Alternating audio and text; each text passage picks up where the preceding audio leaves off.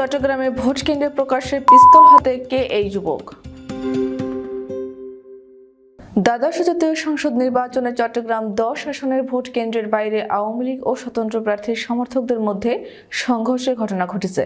ঘটনার সময় একজনকে প্রকাশ্যে হাতে পিস্তল উঁচিয়ে ধাওয়া করতে দেখা যায়। আজ রোববার সকাল এগারোটার দিকে খুলশি স্থল পাহাড়তলী বিশ্ববিদ্যালয় কলেজ কেন্দ্রের বাইরে এ ঘটনায় দুইজন গুলিবিদ্ধ হয়েছেন।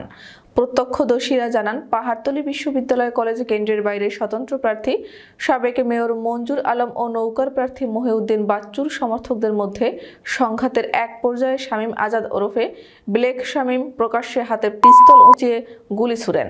তিনি স্থানীয় কাউন্সিলর ওয়াসিম উদ্দিন চৌধুরীর কর্মী।